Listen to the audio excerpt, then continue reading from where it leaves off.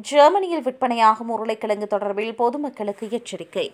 பல ஜெர்மன் பல்பொருள் அங்காடிகள் எகிப்தில் விளைந்த உருளைக்கிழங்குகளை மீளக் கோரியுள்ளன. எடேகா நெட்டோ ஆர்இடபிள்யூ மற்றும் பன்னி உள்ளிட்ட பல ஜெர்மன் பொருள் அங்காடிகள் உருளைக்கிழங்குகளில் ஆபத்தான அளவு புற்றுநோய் உண்டாக்கும் பூச்சிக்கொல்லியான கிளைபோசிட் இருப்பது கண்டறியப்பட்டதை அடுத்து அவற்றை திரும்பப் பெற்றுள்ளன.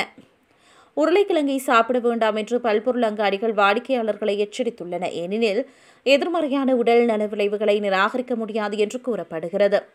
ஹைன்ரிச் போல் அறக்கட்டளையின் கூற்றுப்படி பூச்சிக்கொல்லி நச்சுத்தன்மையானது மக்களை சோர்வாக உணர வைக்கும் மற்றும் காய்ச்சல் மூட்டு அல்லது தலைவலியை ஏற்படுத்தும். வயிறு பலவீனமடைந்து குமட்டல் வாந்தி மற்றும் வயிற்றுப்போக்குக்கு வழிவகுக்கிறது. நான்கு ஜெர்மன் பல்பொருள் அங்காடிகளில் ஏற்கனவே உருளைக்கிழங்குகளை வாங்கிய வாடிக்கையாளர்களை எச்சரித்துள்ளது.